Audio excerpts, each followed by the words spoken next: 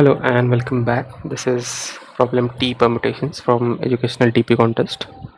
The problem states that you are given a positive integer n and you are also given a string of length n minus 1 which only consists of opening and closing brackets and we need to find the number of permutations of length 1 to n which satisfy the following condition uh, with the modulo 10 to 9 plus 7 the condition is that according to the string that is given as uh, so there is some condition inequality that is followed between the adjacent elements of the permutation. So if the string character is less then the number on the left hand side is smaller than the number on the right hand side. And if it is greater then the number on the left hand side is larger than the number on the right hand side. This is the main condition and the constraints are n up to 10000 and the string constraints obviously opening and closing brackets. Yeah so that's it about the problem statement. Let me also give you some example. So in the sample they have given this string opening closing opening. So if you put a 1 here then 3 2 and 4 so three uh, the conditions are all met and this is a valid permutation of numbers 1 2 4 hence uh, the following. Ways are possible. This was one case. You can also go over. There can be large number of permutations possible for a particular string. Hence the question demands the answer modulo 10 to 9 plus 7 okay that's it about the problem statement uh, do give some time to think on this because this is a fairly difficult problem. So do try it on your own first then we can discuss the solution. Okay so according the according to the problem statement we are given uh, a sequence which is of the opening and closing uh, my bad not opening and closing but the inequality is less than and greater than and we need to fill the gaps between them. Uh, let's suppose we are creating a sequence of length 4 and the elements of those sequence a1 a2 and a3 and a4 are the elements of the permutation that we need to form. And uh, obviously the numbers must have values between 1 to 4 and all of them must occur exactly once and following are the cases for which this equality is valid. So this is one of the example. And the general idea to construct a sequence one by one. So suppose we fix a1 then we move on to a2 then we uh, uh, keep a value which is other than a1 in a2 then move on to a3 and keep a value in a3 which is other than what we have chosen as a1 and a2 and so on. This requires that at a state any state suppose ith state we need to know what all values we have already inserted in the previous positions. So this is fairly difficult to store because the best we can do is to store the values that we have already taken in a bit mask and, and this string length uh, can take the values up to 2 raised to power the number of choices that we have made earlier. Hence for the constraint of n up to 3000 this is uh, definitely not possible and obviously not the expected solution. But that is the first approach that you can think of while uh, approaching this problem. And uh, basically we need to somehow uh, let's try to figure out some insights from this. So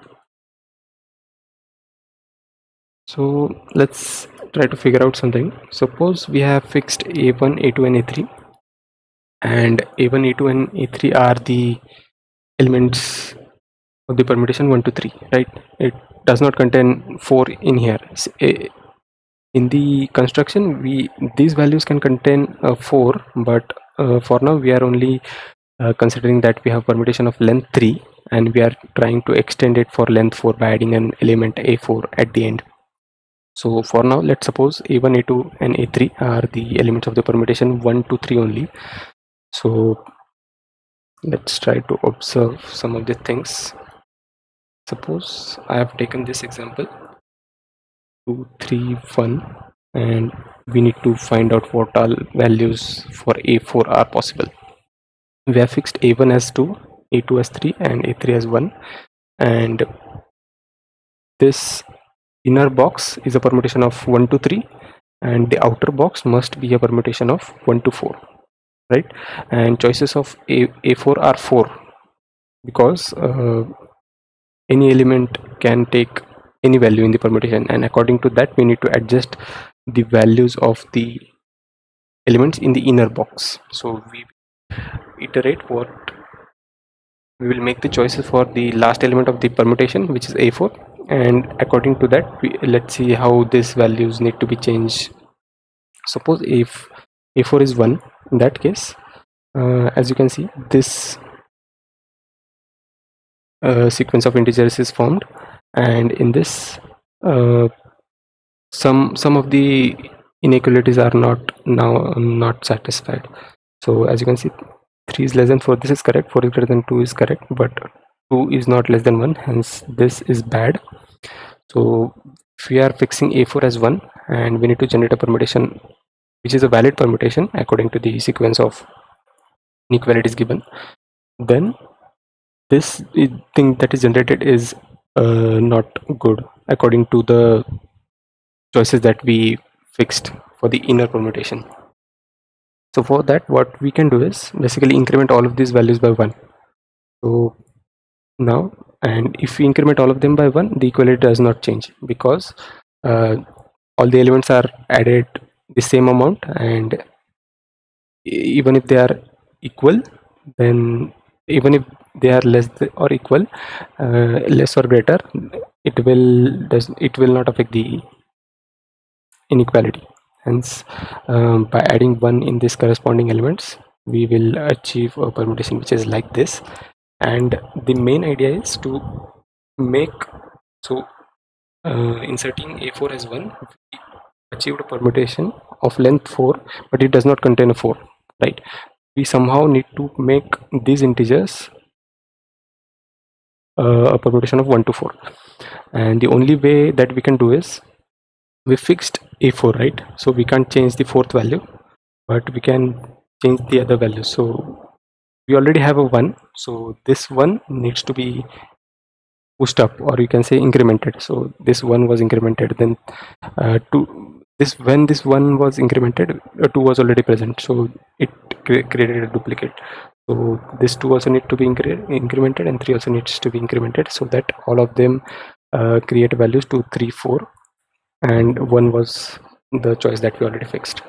For a4 equals to 2 we have value 2 but this previous choice also had a 2 and uh, we don't have a 4 so we will increment the values but one is there is no need to change one because we only have one single one.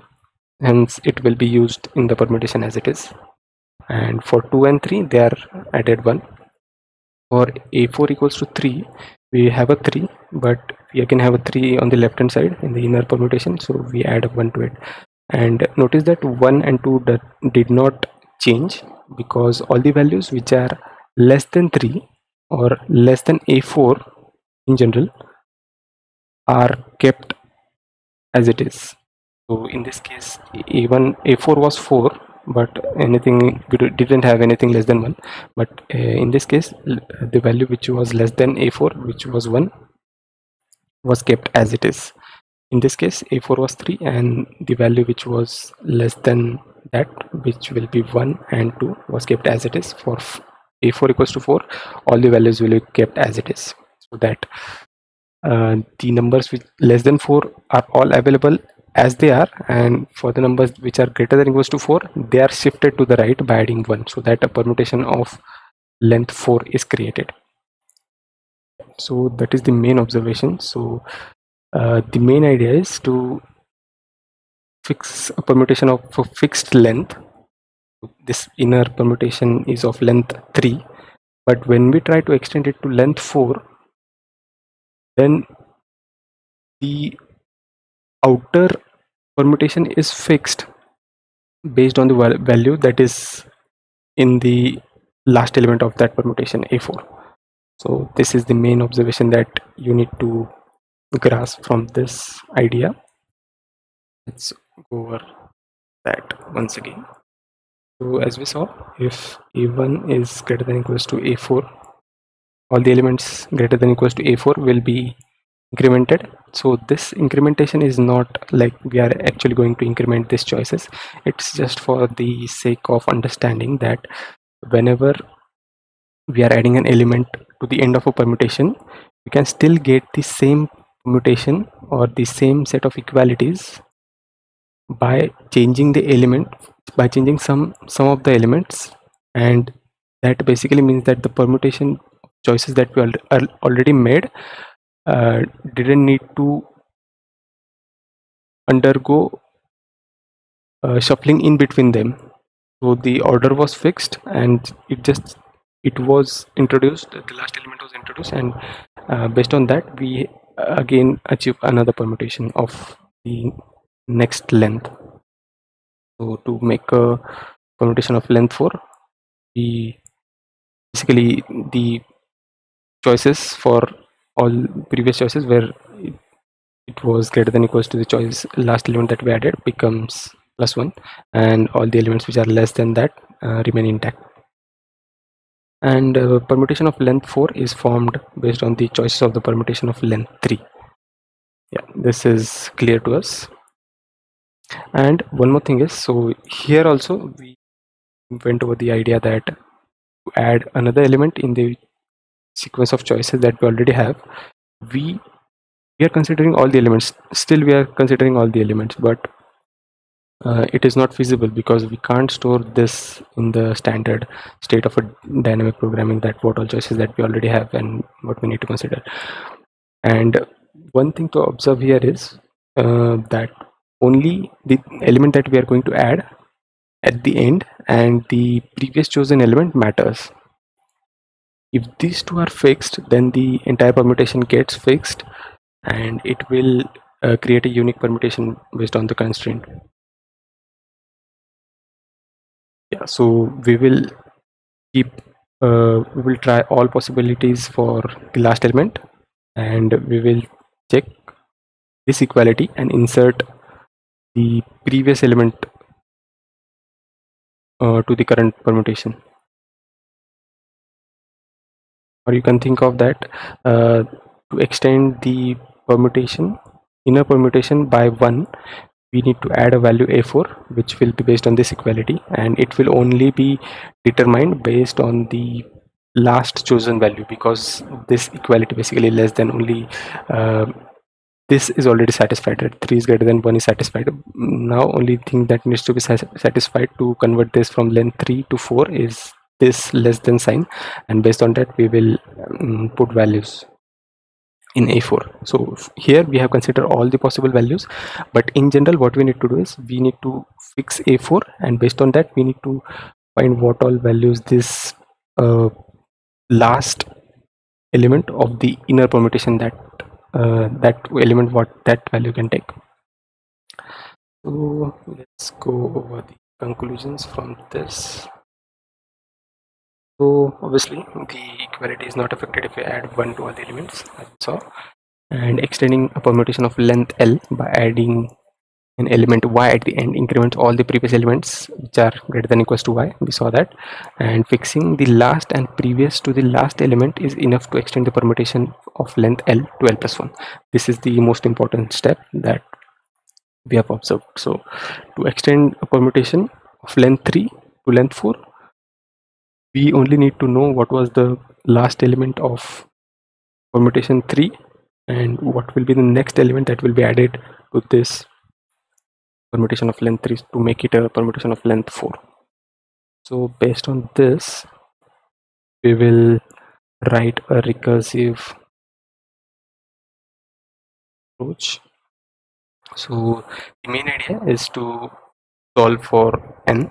So we have a string of we want to create a string of length l or n as i have described here. So the number of permutation of length l whose last element is last which will also be required in this state because uh, when we make transitions to the next state then what was the next value that was chosen and all needs to be considered. And this will be basically sum of all the recursive calls. And basically we are fixing uh, the value at index or position L as last. So we are saying that uh, insert last this integer uh, at this location. And uh, for this last what will be the adjacent left to it? And it will be basically uh, it will be determined using this condition. Uh, this this condition is essentially the same thing that we saw in the diagram. So since we already since we only need to know what was the um, previous and the last previous and the this is the last that we are iterating. We are starting from the last position so this is the nth location and last is 1 in this case and we need to know what value that we can put here. And as we saw that uh, essentially we can put only values from 1 to 3 here right? But it may be possible that the permutation of length 4 has a value which is greater than 3 in the inner permutation position. Hence we need to consider the actual value of that particular position. So as we saw this 4 we need to compare if uh, whatever value that occurs here based on the condition that is plus 1 or uh, it remains same. So it remains same if uh, the value is less than the value that we are adding. And if it is it is plus 1 if it is greater than equals to the value that we are adding. Okay. So so previous will only take value from 1 to l minus 1 because it is it that element belongs to a permutation of length minus 1 not of the length l. We are adding an element to the last but for the previous position the that element can take only values from 1 to l minus 1 but once that larger permutation is created in that the value of that particular position will be different. It will be plus 1 or the same as we saw. Uh, this is the condition for that. And uh, depending on that if we, if we check that this uh, conditions are followed one of this is followed and based on that we will basically fix the choice of that particular position and move on to the next position which is basically we're solving it from right to left. And as I've mentioned this can also be solved from left to right. We need to fix the first element then what will be the next element first depending on this condition only. Uh, they will be flipped a little bit but overall conditions will be remaining the same. So we start by calling this function as n comma 1 plus n comma 2 n comma 3 because this last can take n values. This is the approach for implementation. Uh, the construction that we are creating by the choices of the recursive calls is basically fixing the first we fix the last elements of last element of the permutation. There are n choices for the last element of the permutation 1 to n. And uh, based on that that goes inside the state and we need to find out what will be the adjacent left value to the value that we have chosen which is present in the state of the function. And we need to perform the transitions uh, according to the conditions that we saw earlier. This approach is basically O of n cube because as we see this is the index which can take order n um, values. Last can also take n values and there is a transition loop over the previous values which can also take up to order n unique values. So overall this will be the uh, state memory time memory complexity will be n square but uh, time complexity will be of n cube. Now the first of all to understand it better i will just go through this order n cube solution so that you understand what the exact flow of the recurrence is going on. Yeah so after that we will try to optimize it which will be order n square solution for accepted solution.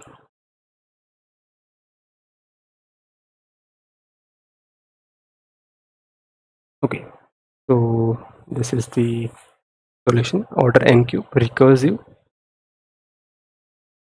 so uh, this is my custom code. So we have i created a struct for storing the modular arithmetics. So this is my struct for storing the answer uh, modulo.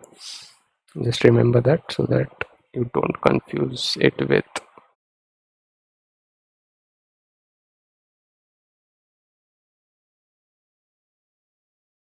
the actual integer or modular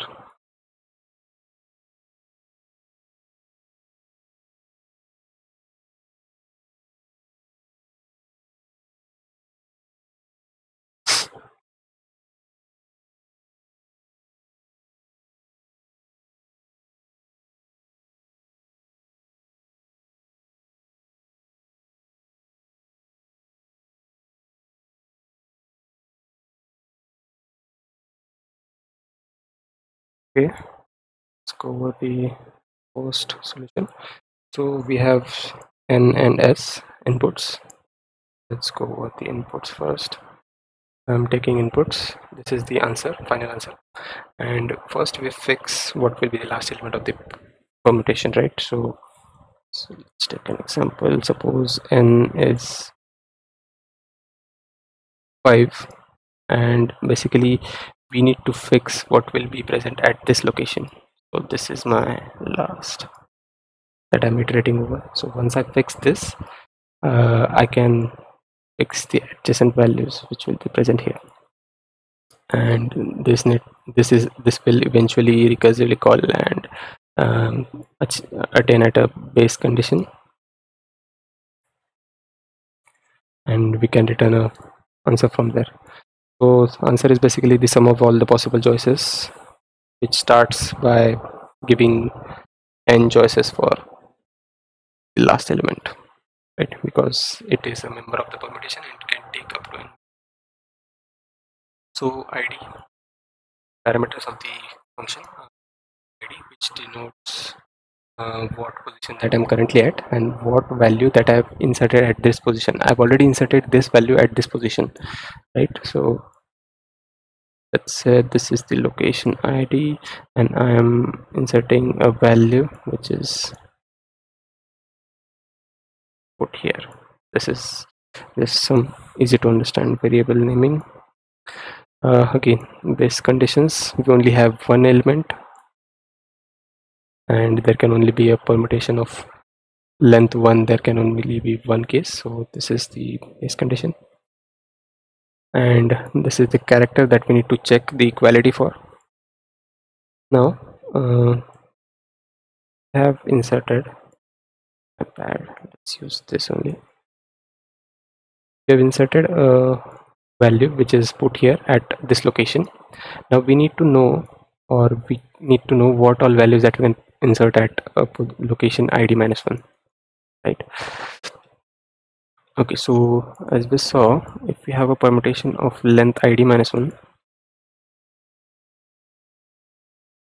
and we need to extend it to a permutation of length id and we have already fixed this value right? We have fixed this value. Now uh, any element we need to know reiterating over this in this for loop. This is x and let's say this is what we are iterating over. This can only take uh, values up to 1 to id minus 1 because it is an element of a permutation which has length id minus 1 not id right? And as we saw in the previous explanation that this value will be incremented plus 1 to make it a member of the bigger permutation if this condition is uh, satisfied which is the value that we are inserting is greater than equals to the value that is already fixed. Is the last value that we inserted at the position id right? And based on that we will find out what is the previous value which is the actual value that is present in that position. And based on that uh, we will check for both of these inequalities. If it is less than that we need to check that the previous is less than the value that we already uh, fixed. Or if it is greater than then we need to check the same. And then we can make the transaction transition. And it will be the sum of all the possible ways that we can uh, put the position in that. So this is how the recursive function works this is overall order n square time complexity. As i told there are n choices for this not choices but the the state can take or uh, n values independently. Same for this parameter and this is a transition loop which can run up to n time. Hence this is a order n cube solution if you add a memoization here right? Currently it is exponential but you also need to add memoization then it will be converted into order n this is the base. I think uh, even if you don't understand iterative dp this top down dp will give a give you a clear understanding of what is actually happening by the way in which we are actually creating or constructing a permutation let me give a brief about that once again. Yeah we are currently at index id we have fixed what the value at this position will be. Based on that we will find out or iterate over values that are possible at this position denoted by x. Let's say fixed value is f. And based on the equal inequalities we will this is a x is a member of permutation of length id minus 1 and f the permit is an element of the permutation of length id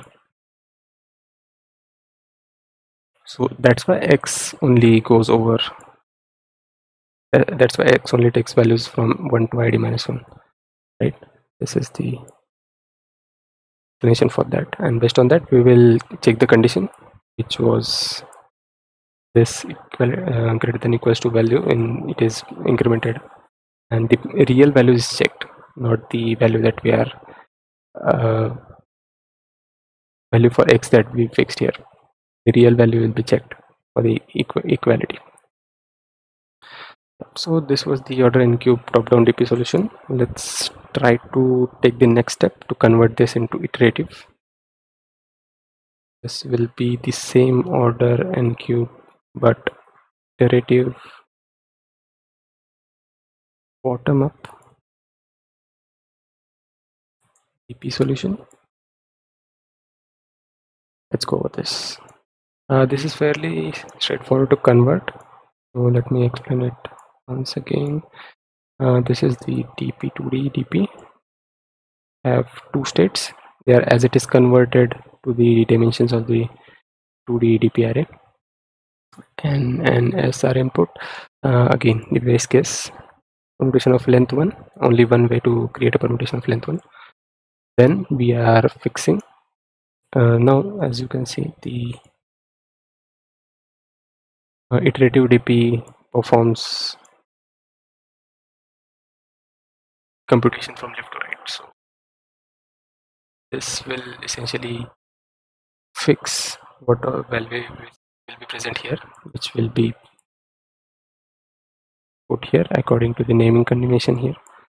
So we fix the location, fix what we need to insert here, and then we will iterate over what values the this previous position can take which will be previous. Again the constraint as you saw this is a member of permutation of length id hence it can take a value between 1 and id this is a member of a permutation from 1 to id minus 1 it can it can only take values from 1 to minus 1 okay. The same thing that we saw in the top down approach. The same thing is converted. We find out the real value. And we check the equality and then add the number of ways from the previous state. That conditions remain same. And again since this for loop is accountable because we know dp of id comma last values for all the values right? So dp of n of 1 will basically denote that we have constructed a permutation where the last element is 1 but it can be 2 as well 3 as well up to n. And this is basically dp n of 1 and this will be dp n last element of permutation of length n where the last element is n. And we need to add the answer for all of these ways independently. And this was also done in this for loop here. Right? We fixed the last element. But in iterative dp we find out the answer for all the states first and then change it to the other thing okay so this again straightforward. N values n for the fixed position and then it will be order n cube just iterative solution order n, n square memory. Now let's go over final solution order n square. So let's clear this up. A better understanding how to optimize it further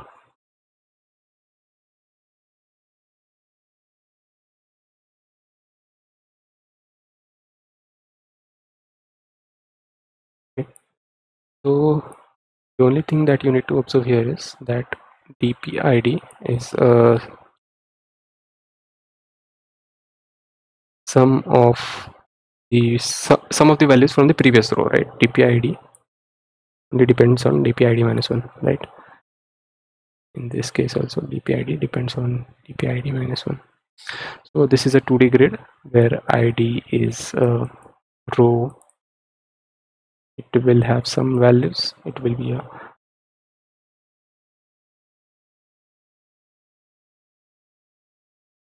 it will have dimensions n. And basically updating sum cell in this is basically taking some of some of the values in this part. We don't know the endpoints yet but this is the main idea. So dpid of some position j and j is basically put here. This is j.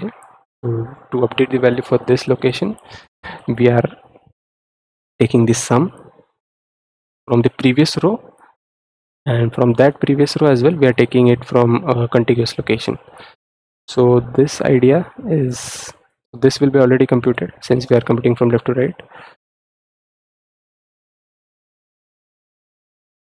Right? This will be already computed.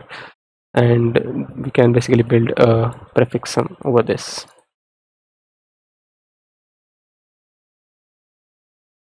Prefix sum over the last row of the dp and update the answer at this particular position in order one time.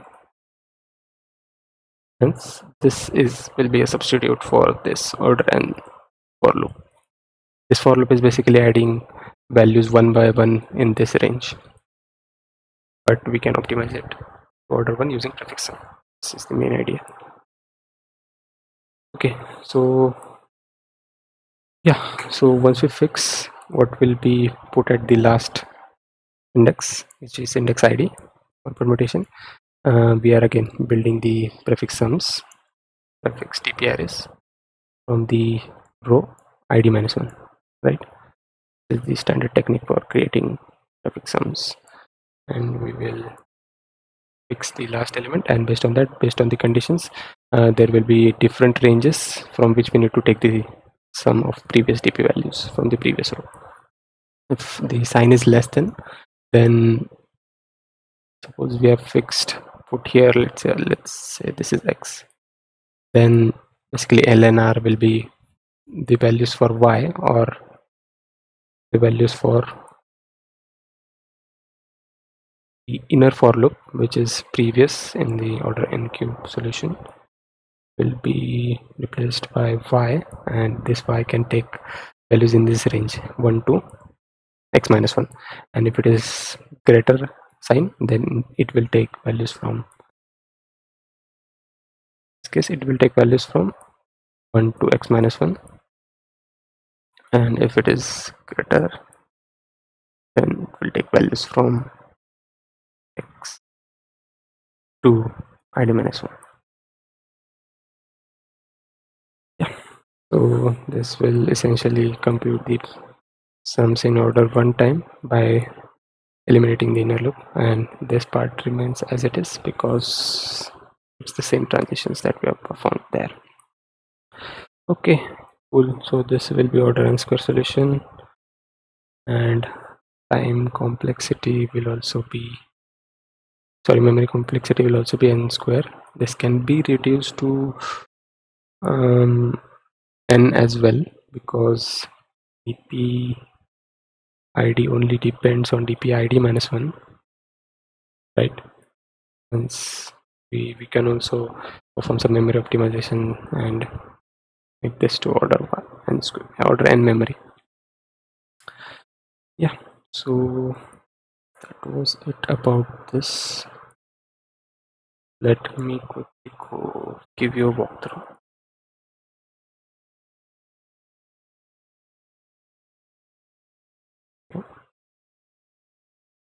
so as we saw uh, to extend a permutation of length L to L plus 1, you only need to fix the last element and the previous last element.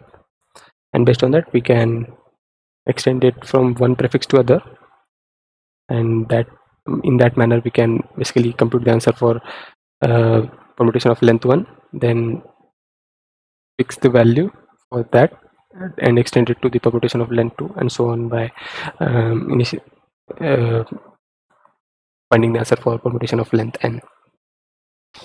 Yeah that's it for this video. If you found this useful do like and share this among your friends. And if you have any doubts or suggestions do let me know in the comments. Thank you